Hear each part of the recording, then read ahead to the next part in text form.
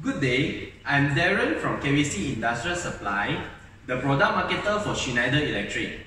Today I will share to you about Schneider Digital Power Meter PM5560.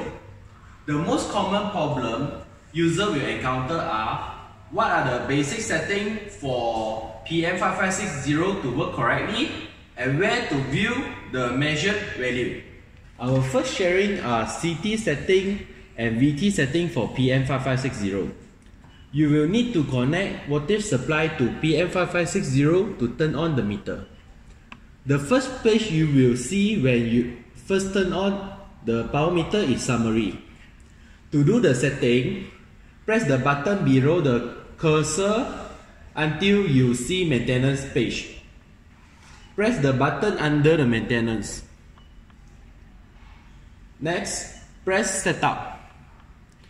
The default password is 40. Then press OK.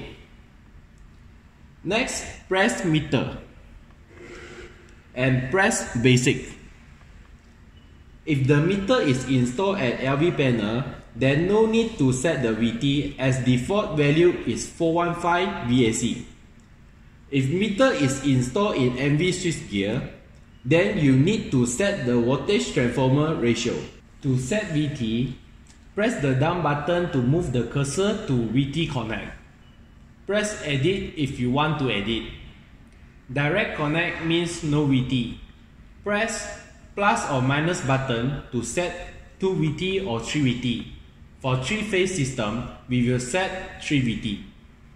Next, press down button to move the cursor to VT primary. Press edit to change the value.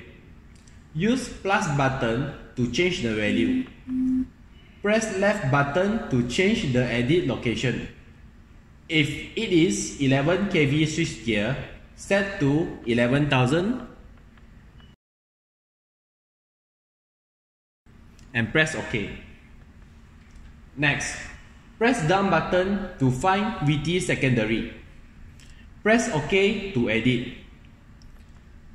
Press plus button to set the secondary voltage to either 120, 100, 110 or 115.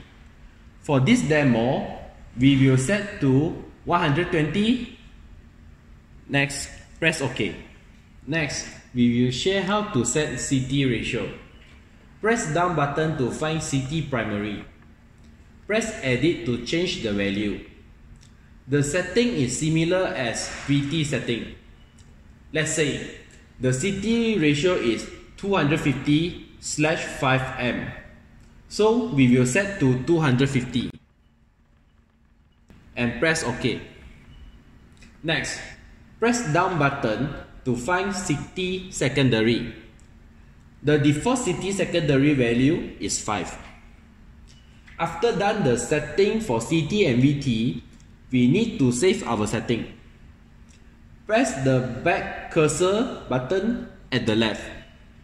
You will see save all setting. Press yes. Next sharing is how to view the measured values. At the first page, you will see in the meter is the summary page. In this page, you will see average current, average voltage, total power, and total energy consumption value. To view other parameters, you will need to find the page at the bottom of the screen by pressing the cursor at the right to change the page. I is current parameter, U dash V is voltage parameters, E is energy parameters, PF is power factor parameters, PQS is power parameters, hum is harmonics parameters, and etc. For example, if you want to view current parameter, press the button below I. You will see the current average and current per phase value. If you want to view energy parameters, press the button at the right to find E. Press the button below E and you will see the energy value. As you can see, there are two types of energy measurement shown at the meter. Energy delivered means energy delivered by utilities provider to load. For Malaysia is TNB. Energy received means energy received by the grid. So if you want to measure the building energy consumption, you can read energy delivered. That's all from today. Please feel free to tell us what are the topics that you like us to share. For more information, you can visit our website. Thank you.